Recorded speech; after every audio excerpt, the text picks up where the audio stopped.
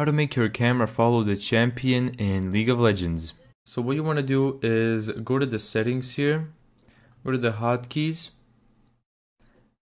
camera control, and here you can see that the center camera on champion is space. So what this will do is if you hold space, it will always lock onto the champion. And to lock your camera, it is just the Y key.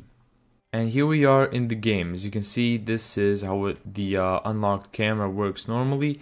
If we press the Y key, it will always lock on to the champion. Let's head over to the settings. If we go to the game, you can choose the camera lock mode. Now I like semi-locked.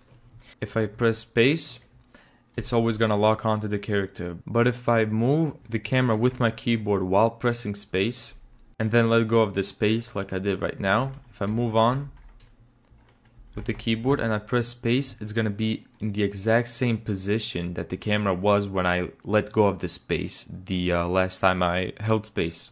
So now I can move my champion around and I can hold space at the same time.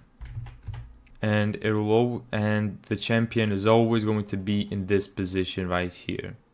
And there you go. Thank you so much for watching this video. If you found this tutorial helpful, make sure to give it a thumbs up and subscribe. And as always, see you in the next video.